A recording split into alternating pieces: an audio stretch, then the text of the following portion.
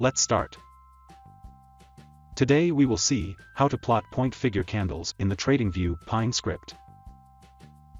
This is the indicator function with the name point figure. Here we have used the point figure function. The first argument is the current stock name. The second argument is the source of the point figure. There can be two sources, close and HL.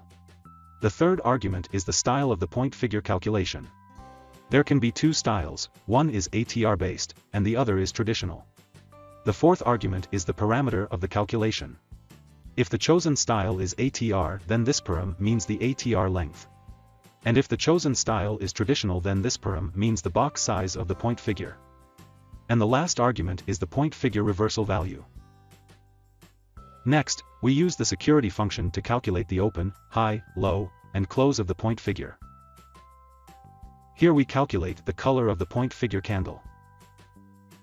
Finally, we have used the plot candle function to plot the point figure. Let's add this indicator to the chart. As you can see, along with the default bar chart, we have plotted the point figure candle over here. You can plot the default point figure in the upper panel and cross-check if the open, high, low, and close values of the default candles and our indicator match or not. So that's it. That's how you can plot point figure in the TradingView Pine script. Thank you.